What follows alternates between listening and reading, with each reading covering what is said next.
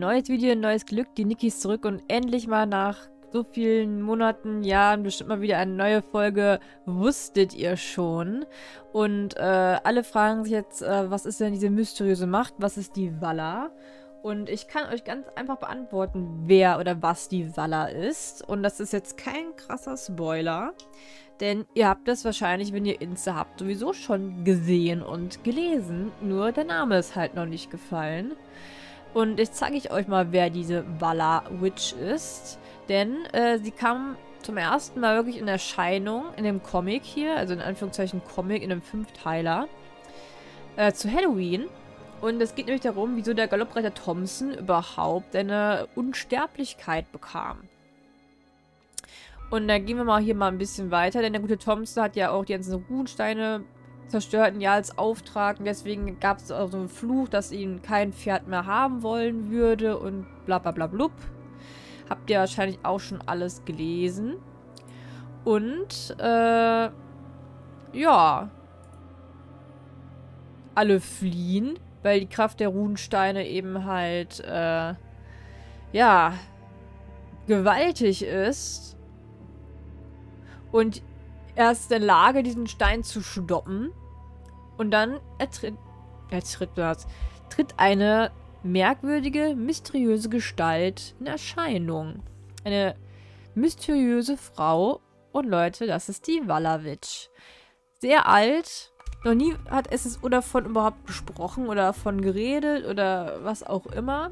Ich weiß auch nicht, ob sie ähm, generell böse Absichten hat oder einfach nur eine Hexe ist was einfach alle Hexen tun oder ob sie einfach äh, ein Fabelwesen ist, was zu Jorvik trotzdem dazugehört.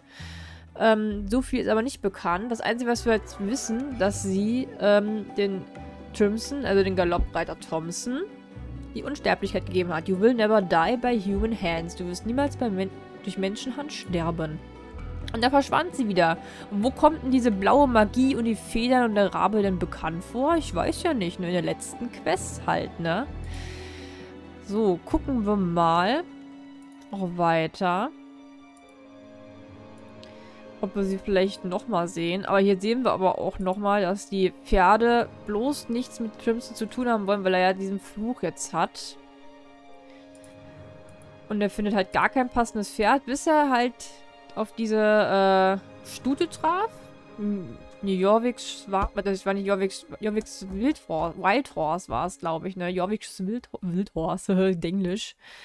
Ähm, dass niemanden, äh, sich reiten ließ. Äh, hier steht auch, äh, äh, would let no one handle her and could not be stabled with the other horses. Also, das ist natürlich eine perfekte Konvergenz, die beiden. Und somit, äh, ja, waren die, die perfekten, das perfekte Pärchen, kann man eigentlich sagen, ne? Reiter und Pferd halt. Mal gucken, ob wir sie vielleicht nochmal sehen. Das Comic ist natürlich auch schon ein bisschen was her, ne? Aber, ähm...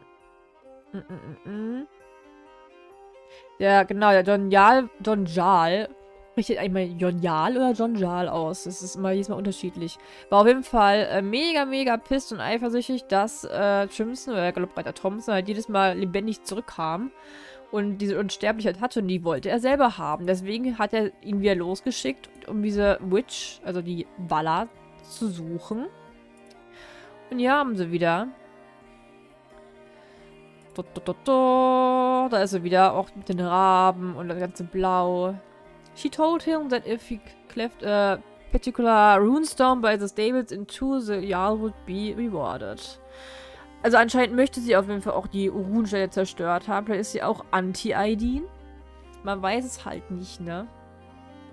Aber, äh, ja, ging wohl nach hinten los. Aber das ist auf jeden Fall äh, die Walavitch.